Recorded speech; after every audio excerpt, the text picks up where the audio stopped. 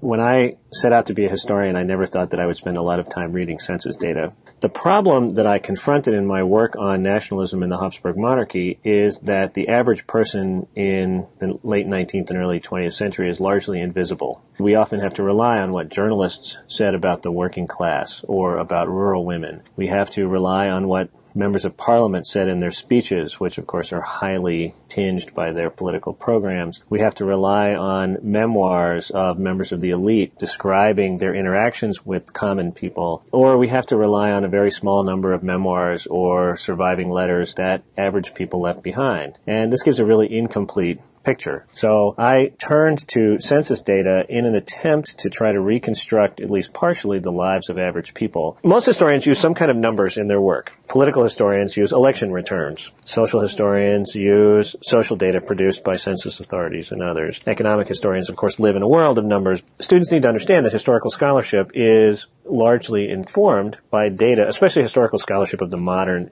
period, meaning 18th, 19th, and 20th centuries, because of trends in the historical profession, but also because the data get better. So, for instance, any estimate of death as a result of the bubonic plague is truly an estimate based on some sophisticated guessing. Estimates of death by tuberculosis in the Habsburg monarchy are based on very good data. I began looking at census data with the advent of the modern Austrian census in 1880. Then it's gathered consistently from 1880 up until 1910, which was the last census in the empire before the First World War, and then the empire falls apart in 1918. You can learn a number of things about the voters from these materials. You can learn how literate the voters were. You can learn what kind of employment they engaged in. You can learn how their lives were affected by various diseases like tuberculosis. You can learn to a limited degree what their national identity was. The Habsburg Empire was a multinational state. The people of the monarchy spoke 17 different languages. No single group was the dominant national group. The Germans made up about a third of the population, the Czechs about